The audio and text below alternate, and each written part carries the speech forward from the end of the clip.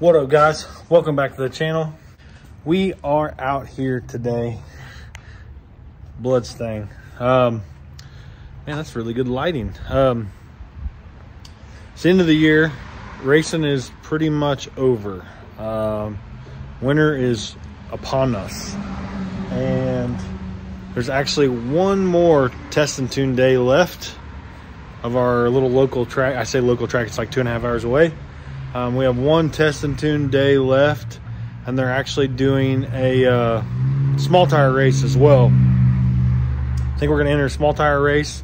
Probably be quite a few cars there. There's a good chance it gets rained out. Um, we got like a 40% chance as of right now.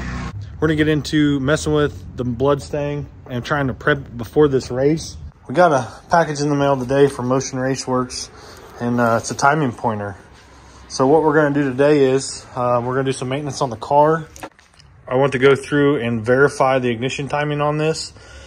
This motor, I did weld the crank reluctor on it, um, but I did not go in and verify the timing. And that's something I need to do, especially on this max effort stuff. I, honestly, I should do it on everything. Um, but the first time I didn't do that, or the only time that I didn't, no, Okay, so I've never done it, honestly. I did it on the 6.2 when the 6.2 was in here, and we found out that the crank reluctor moved, and it was 55 degrees off. So um, I went ahead and bought a timing pointer, like one specific for the truck spacing, because all my cars use truck spacing. And I'll, if I got to, I'll just pull it off one car, move it to the other, and just continue to use it rather than try and bend a piece of welding wire and hope for the best. Um, that's probably going to be a little more precise than a piece of welding wire. Um, I'm gonna get this thing fired up. We're gonna get it over to the garage. Uh, we'll get jacked up and pull this charge pipe off. We'll uh, mount this and then we'll go through the process to try and get it ready to um, find TDC. And then we'll go through and see if we can find out how far off, if any, the timing is on this. And then we got to change the oil, change the plugs, and uh, we got to do an anti-roll bar adjustment and stuff just to get the car ready for the uh, no prep race this weekend. But anyways, let's get the car moved and we'll get in the garage. It. Got the uh, upper boost pipe off and uh, I went ahead and drained my catch can. That's something I always try and do every time I, like I'm messing with the car, I just automatically drain the catch can. Um, one thing I'm thinking, I think I want to shorten this. I'm starting to think I don't like that sticking out there. So I might try and shorten that up to where the teardrop just barely sticks out and it'll make the exhaust look bigger. It kind of looks, I liked it in the beginning. Now I don't know so much. Let me know what you think. Let me know if you if I should change that.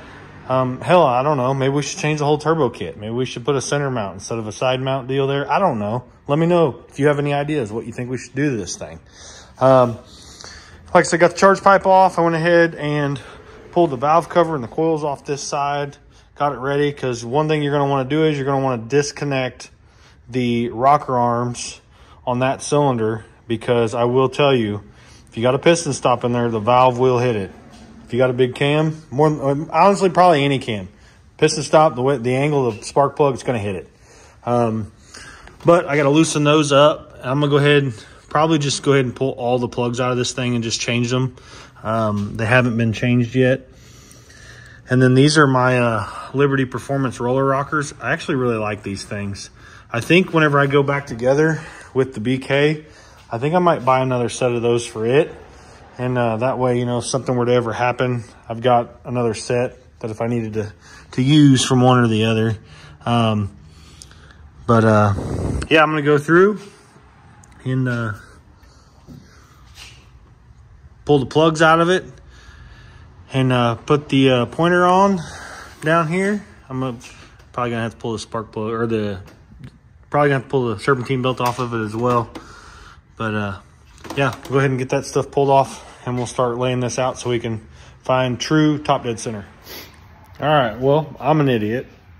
And I didn't think about the fact that I run the Summit balancers um, on all my cars. And this timing pointer does not work with those because the Summit balancer is so much smaller.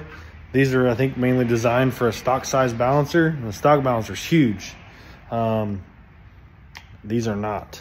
Let me show you.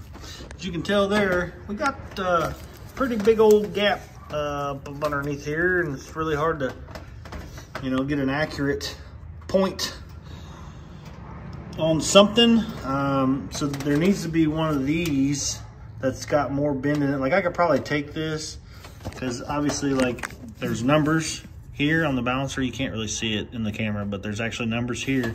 I could probably put a bend in it or two, put another bend here down and then another bend out and probably get that pointer really close to the balancer. Just don't know if I want to do that. Uh, might have to check with Motion and see if they've got another option for this, but I needed it this week because I'm trying to set it like right now. So I'm gonna contemplate that whole situation. I'm gonna go ahead and get the plugs out of this side. Um, I'm honestly gonna pull plugs out of the whole thing, um, but get the plugs out, pull these rocker arms here off, and then uh, hopefully by then I'll have something in my brain about what I want to do about that timing pointer. So what I did was I put a couple more bends in this. I probably should have spent a little more time measuring, but uh, it's a little closer to the balancer now as you can see there but my pointer part of the this piece here is obviously like sitting out here where the belt is so I can't really mark it there because then my paint mark will disappear. Um, so what I think what I'm going to do is I'll probably put a little bit more bend in it try and get it a little closer to the balancer. And then I think what I'm going to do is I'm going to drill a hole in the center of this where it puts me about in the center of where the uh, timing marks are. And then that way I can go in and I can mark it with like a, a black Sharpie. I can just put a little black Sharpie dot rotate it over, black Sharpie dot, and then I can pull this back off, split the difference, and then put like a um, like an orange mark on the balancer. And then I all I got to do is uh, just shine the light in that hole. And then uh, as long as I see that hole, I mean, or see the mark in the hole, then I guess that's showing me where I'm at. The only downfall is it's not going to show me how many degrees one direction or the other, so that kind of sucks. Um, I don't know. We'll try. We'll see. Maybe my theory behind that's not not right. Um, I probably should have went about this a little different way rather than my little zigzag here. I probably just could have. Well, I guess I kind of had to. I could have tried to straighten it out, but I was afraid I was going to break the aluminum. So that's why I opted this way. Um, but it still needs another little little zigzag. This this point right here, this should have been a little longer, so then it would have shortened this piece up. So I should have put it about here, and then it probably would have brought the point back here. But just throw it around. You don't need that where we're going. Um, I'm gonna try this if this doesn't work. Um, I've got that piece down there. I'll just put a piece of wire on it and just roll with it that way. Um, got the rockers off, got my homemade piston stop here. I'm going to throw that in there. And then uh, we'll go through and try and see if we can find TDC on this thing. All right, well, with a little modification, we got a, a pointer now. And I got it shaved off and back here so now I can mark the balancer. And uh, I think it might hit a little bit. I don't know. Can you tell me if it's hitting? I don't think it is. But it was when I was messing with it earlier, it sounded like it was hitting. But uh, now we can put our piston stop in here. And uh, this homemade piston stop was a spark plug, a what used to be a um, what's the word I'm looking for?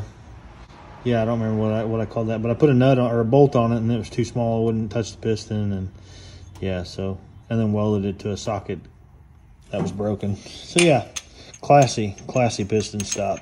There, I'm pretty sure that's it. All right, grab a socket and uh, we'll rotate this thing over and find our spots and then figure out where TDC is.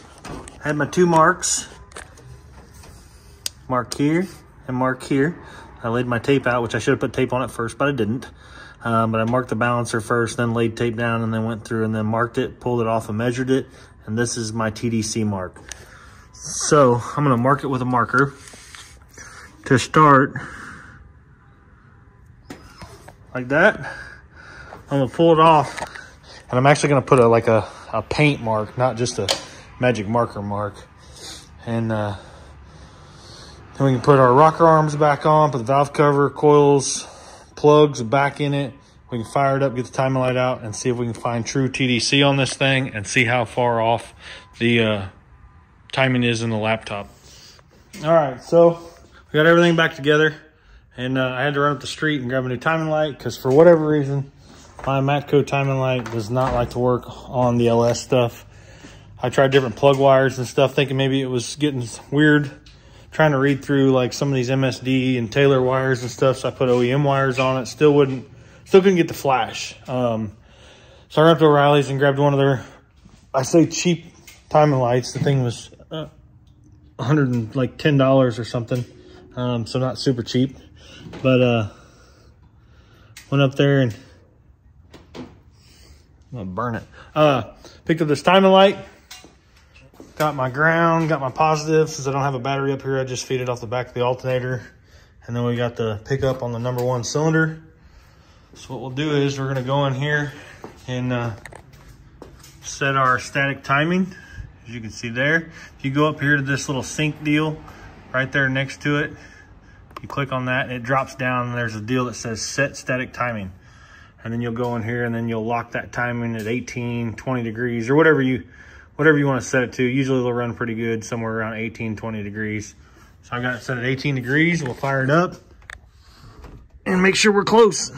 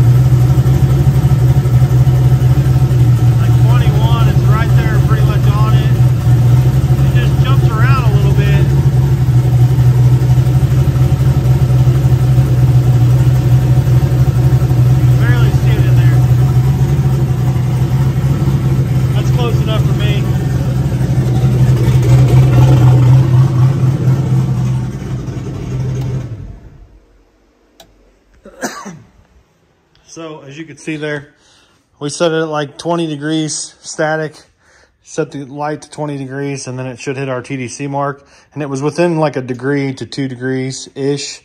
Um, and I'm, I'm okay with that. Um, if it was five or six degrees, I probably would have gone in and I would have set up a, a table and tried to change that.